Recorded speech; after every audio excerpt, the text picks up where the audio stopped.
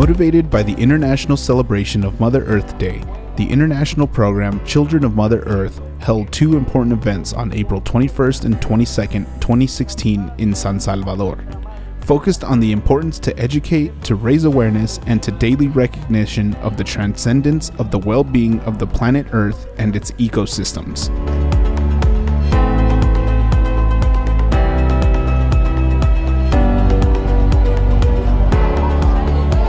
The International Fair for Peace of Mother Earth was developed in coordination with the Ministry of Education of El Salvador and took place in the Central Park of San Martin, municipality of San Salvador.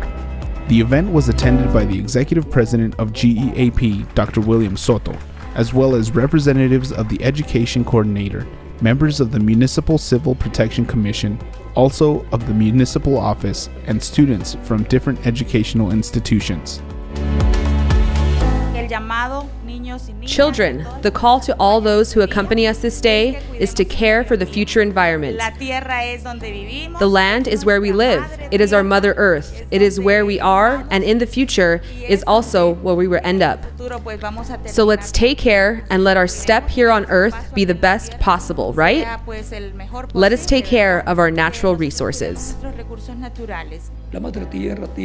Mother Earth has the right to maintain the integrity of its original species, whether plants or animals, including humans, and that they are not being manipulated or altered genetically, as well as the control of hunting and indiscriminate fishing, and the agricultural overproduction to satisfy human and animal consumption.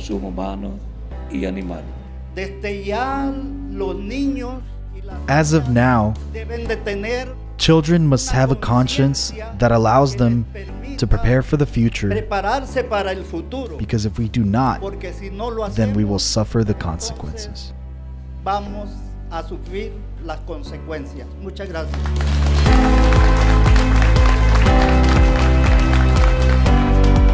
At the end, the students who gathered from different educational centers made a tour of the six environmental brigades prepared by Young Guardians for Peace of Mother Earth.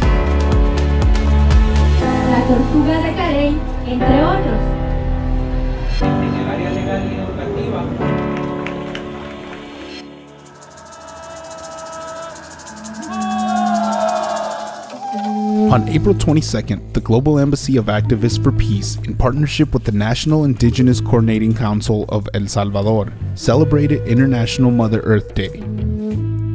Representatives of the indigenous communities opened the activity with a ceremony, looking at the four cardinal points. They thanked fire, air, water, and earth for their kindness to humanity.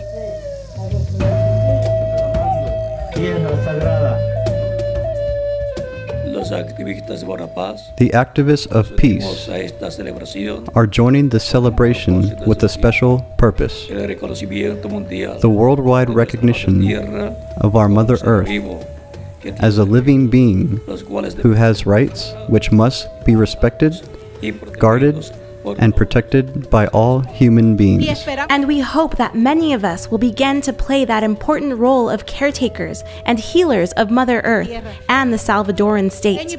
And particularly, this government start from the institutionalist that is within its reach to take urgent measures. In fact, not only of discourse. Ladies and gentlemen, thank you.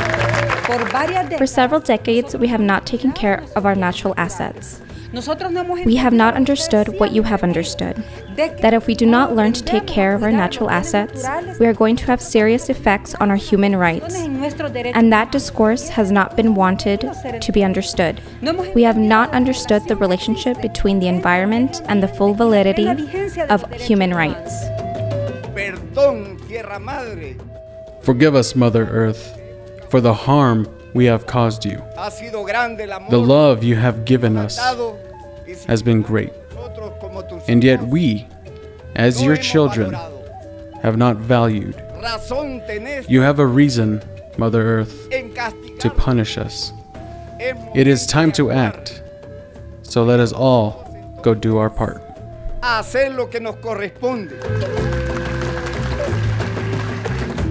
In accordance with the 2016 celebration theme, Trees for the Earth, the symbolic planting of trees was carried out.